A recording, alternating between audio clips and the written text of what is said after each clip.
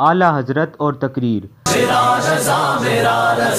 امام اہل سنت اعلی حضرت رحمہ اللہ زیادہ وعظ نہ فرمایا کرتے۔ آپ کا معمول تھا کہ سال میں تین وعظ مستقلاً فرمایا کرتے تھے۔ ہر کسی کی تقریر نہیں سنتے تھے۔ حضرت علامہ مفتی امجد علی اعظمی علیہ الرحمہ فرماتے ہیں کہ اعلی حضرت کی عادت تھی کہ دو تین آدمیوں کے علاوہ کسی کی تقریر نہیں سنتے تھے۔ ان دو تین آدمیوں میں ایک میں بھی تھا۔ اعلی حضرت یہ ارشاد فرمایا کرتے تھے کہ عموماً مقررین اور وائزین میں افراد و تفرید ہوتی ہے۔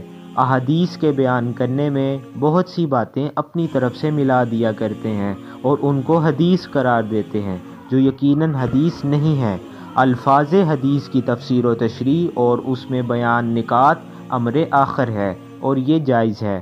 مگر نفس حدیث میں اضافہ اور جس شے کو حضور اکرم صلی اللہ علیہ وسلم نے نہ فرمایا ہو، اس کو حضور اکرم صلی اللہ علیہ وسلم کی طرف نسبت کرنا یقیناً حدیث گڑنا ہے، جس پر سخت وعید وارد ہے۔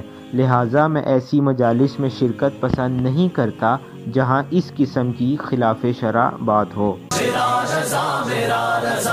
عاشقوں کا رہنما میرا رضا میرا رضا